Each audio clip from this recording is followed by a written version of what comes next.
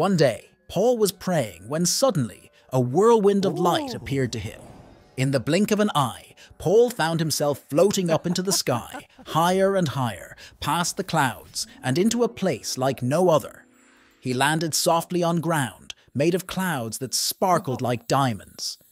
This was no ordinary place. This was heaven.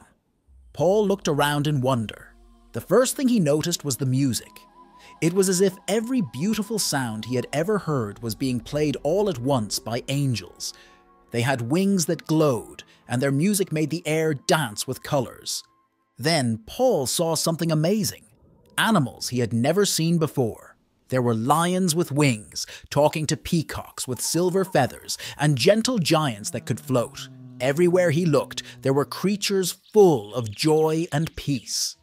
In front of Paul, there was a path with holy light leading to a magnificent palace. The palace was made of a crystal so clear you could see the rainbow inside it.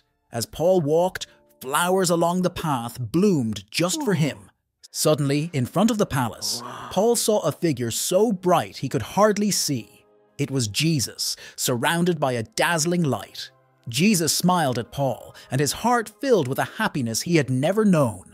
Jesus didn't speak with words, but Paul could understand everything he wanted to say. It was as if love itself was talking, telling him secrets about joy and peace. Jesus showed Paul a river that sparkled with life. The water was not just blue, it was alive with every color Paul could imagine. Along the riverbank, there was a tree that bore 12 kinds of fruits, one for each month, and its leaves could heal anything. Paul wanted to stay forever, but his visit had come to an end.